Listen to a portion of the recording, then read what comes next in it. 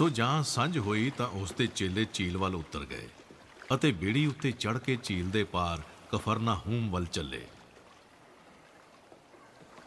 ਉਸ ਵੇਲੇ ਹਨੇਰਾ ਹੋ ਗਿਆ ਸੀ ਅਤੇ ਯੀਸੂ ਉਹਨਾਂ ਦੇ ਕੋਲ ਅਜੇ ਨਹੀਂ ਸੀ ਆਇਆ। ਪਰ ਵੱਡੀ ਹਨੇਰੀ ਵਗਣ ਕਰਕੇ ਝੀਲ ਬਹੁਤ ਠਾਠਾ ਮਾਰਨ ਲੱਗੀ।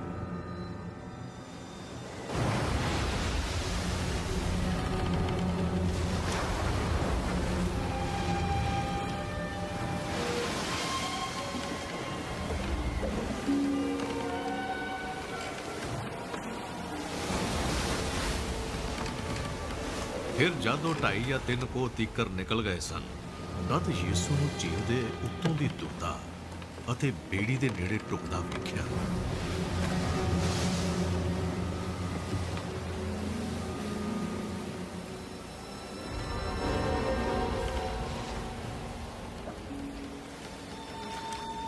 ਅਤੇ ਡਰ ਗਏ ਤਾਂ ਉਸ ਨੇ ਉਹਨਾਂ ਨੂੰ ਆਖਿਆ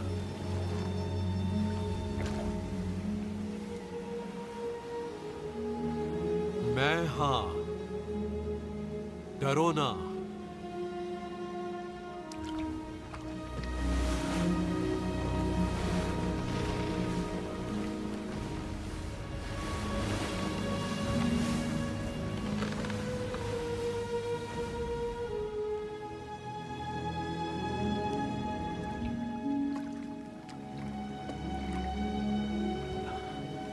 ਤਾਂ ਉਹ ਉਸ ਨੂੰ ਬੇੜੀ ਉੱਤੇ ਚੜਾਣ ਲੈਣ ਨੂੰ ਰਾਜ਼ੀ ਹੋ ਗਏ।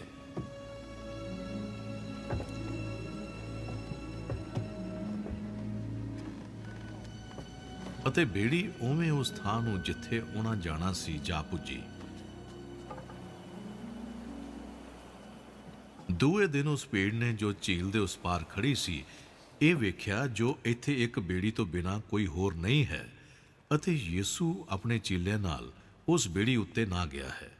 ਪਰ ਇਕੱਲੇ ਉਹਦੇ ਚੇਲੇ ਹੀ ਗਏ ਹਨ।